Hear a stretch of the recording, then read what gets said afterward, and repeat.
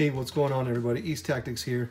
And today I thought I'd make a real quick video uh, to ultimately just show you guys how to use a crimping tool. Um, this is if you're basically doing a DIY project on maybe installing your own fan system, 40 millimeter fans on your motor, on your ESC, and you've gone the DIY route. Um, I've got a whole playlist basically on going the DIY route um, acquiring all of the miscellaneous parts that you need, ordering the fans from AliExpress, picking up your braid, you know, picking up miscellaneous adapters. Um, method of doing this, and I think the, the actual playlist more promotes this idea or at least showcases it, is doing a lot of just snipping wires and soldering them together with a solder. And you know, soldering's fine too, but um, because I do this quite a bit, I figure, you know what, why not learn how to use one of these crimping tools and pick up basically your classic JST um, female and male. There's just a whole bunch of them and then there's the two versions of the metal that you'll need. So it's basically this and this. So anyway, this is more of a solder-free method of, uh, you know, putting these things together. Um, so when you order one of these fans, what you do is you just snip the uh, blue and the yellow wire so that all you have is just the black and the red. And then you want to get about three millimeters of metal showing, okay? And I'm going to show you the proper way to use this crimp tool because honestly, if you don't know how, um, it can be a little bit confusing and you just want to make sure you do it right. So um, ultimately what I'm going to be creating, I like to outfit these fans with this version of JST because then you can just plug it straight into your ESC, you know what I mean? Or you can plug it into a splitter. The two fans could go into the splitter and then this could go into your ESC or a 3S battery, either way. So anyway, let me kind of show you guys how to actually do this. So first thing you want to look at is you just kind of want to match um, a classic JST connector. connector. Silver is facing up, the black is closest to you, and the red is in the middle, okay? That's basically just a rule of thumb. So anyway, so I've got two of these. I'm going to be outfitting two fans, so obviously I need two of these JST end connectors, and then I'm going to need four of these. So I'm just going to go ahead and delicately bend these off and set them down. Okay, so these tools are actually designed to be held in the right hand and the logo and everything to be facing you and held in this manner, like so. So you're never gonna turn this over like this and do it upside down or anything like that, okay? Now, when you look closely, and I'm not sure how well I'm going to be able to closely show you this, but all right, so when you look closely at this little thing, you'll see it's got two large flaps at the end and then two little flaps in the middle. And then basically this little section right here, this third section, is more just an inlet for the wire to go into, okay? Now, when you set this thing into your crimp tool, so the way these things work when you start crimping them is when you click here one click, it will stay.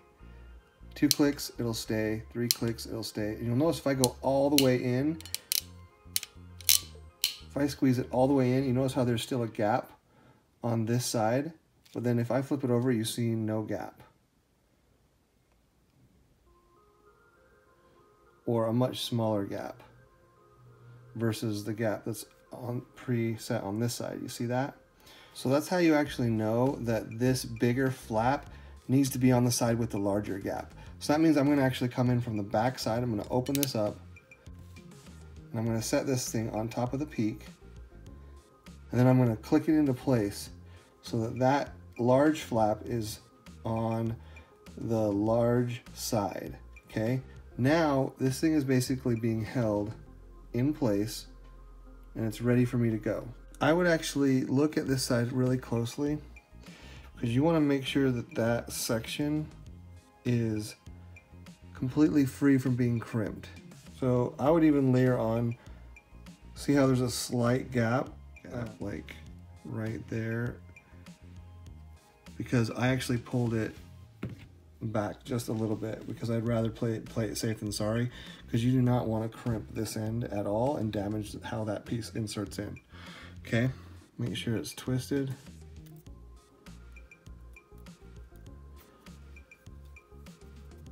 Stick it in. Now if you look at the other side, you don't want to see it, the wire, that wire sticking out. So you want to back it out to about there. Okay, now let's take a close look. See how the red is just crimped in and then the wire itself is crimped on the second level. And then this section right here is undamaged. And that is how you crimp it. Now I'm gonna do that with the black one. Again, we're gonna come in from the back side and we're gonna crimp it in you'll notice that there is a very slight gap that I'm allowing to exist right there because I want it to play 100% safe without crimping this end. Okay.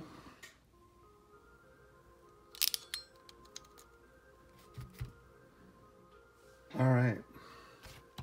All right, so now that they are both officially on, it is actually a good idea to test it at this stage to make sure that it's actually working because um, you don't want to get everything put together, get your your uh, braid on and everything heat shrinked and then put together and find that you're not making a connection here, right? So you take your 3S battery. I've got my handy switch right here. Plug it in. And then we'll plug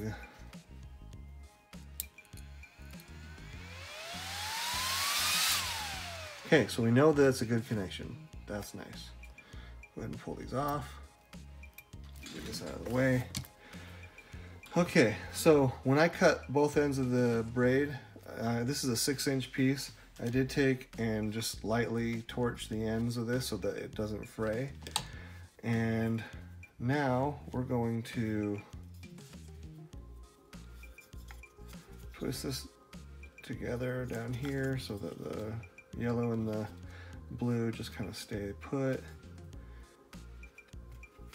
We're gonna put our braid on.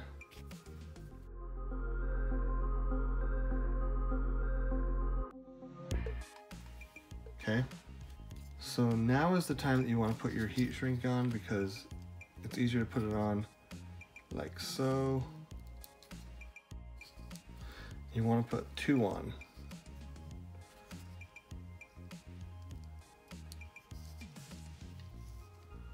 Okay.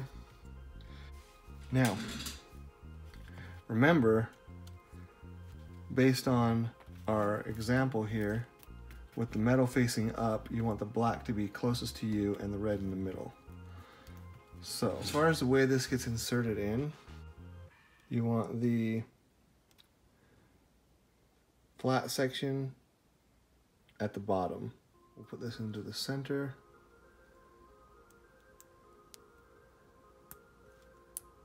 And you'll notice it just kind of catches on its own. Real easy. Okay, now we'll take the black one like so. And insert it. Okay. Then we'll just go ahead and bring this back up.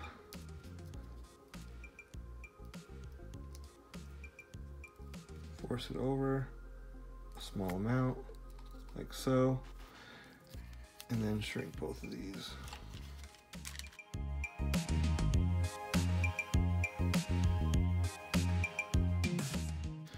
Now that that's done, we will double check that it's working still.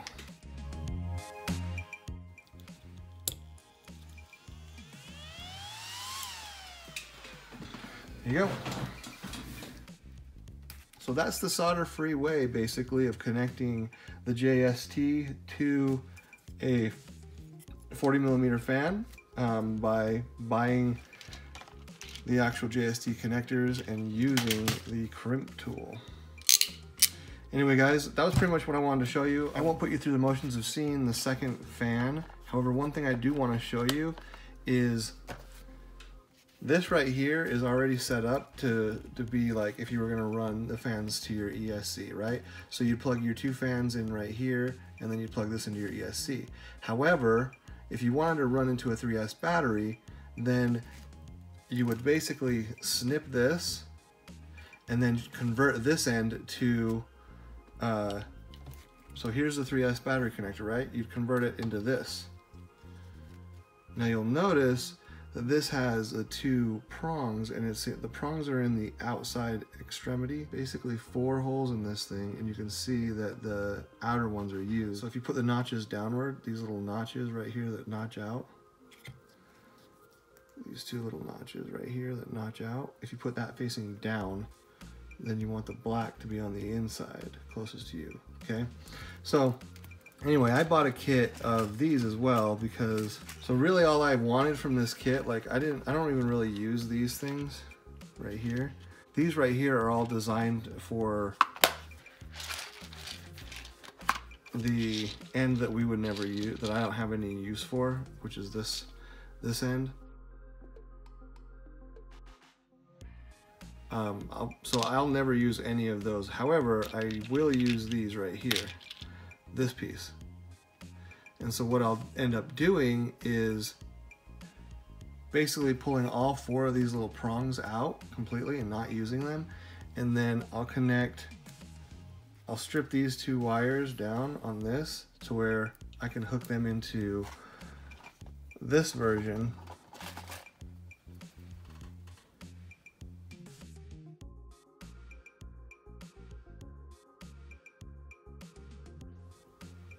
and then I'll shove these two straight prongs through the outside two slots. And the way you'll crimp these on using this tool here is basically the exact same way, except for it's just got the mill end, I, I would suppose you'd call it the mill side of things. So I bought this splitter, basically a pack of these, which I'll have in the description. Um, in fact, the whole DIY process is in a special master link that I'll have in the description of this video, where you can basically buy all the stuff you see here. You can buy this kit, you can buy this kit, and you can get the braid, um, everything. In fact, you can also get these splitters so that if you're not going to run to the ESC and you want to run to a 3S battery, you basically just take and set it up snip it, pull all four of these prongs out, and, and then use the crimp tool to hook two of these onto it, and then put those into the outside holes. And then um, once you've got that connected, then you'll use a wider piece of your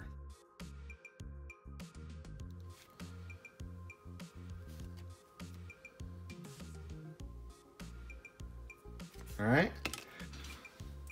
All right, guys. Well, once again, I really appreciate you watching my videos on how to, uh, basically how to use one of these crimp tools properly so that you don't sit and damage these things and, and waste them. Um, but also just the DIY method in another light, uh, solder-free method of connecting these fans to a JST um, as well as a 3S adapter situation. Um, make sure you check out my other videos if you ever have any questions. Check out the playlist on the DIY fan process. Also check the link in the description for basically a compiled version of just fan stuff that you need in one master link called DIY fan parts list. Um, if you appreciate my videos, hit that like button. I'd always appreciate it. It actually kind of just triggers an algorithm in, in YouTube to share it and make it more, uh, YouTube will actually share it to other people more often if you hit the like button for me. So do that. If you're not subscribed to my channel, subscribe to my channel. And if you really appreciate my stuff, uh, hit me up on Patreon. Um, I'm always grateful when somebody wants to throw a little bit of uh, love my way. And I will see you guys on the next video. East Tactics out.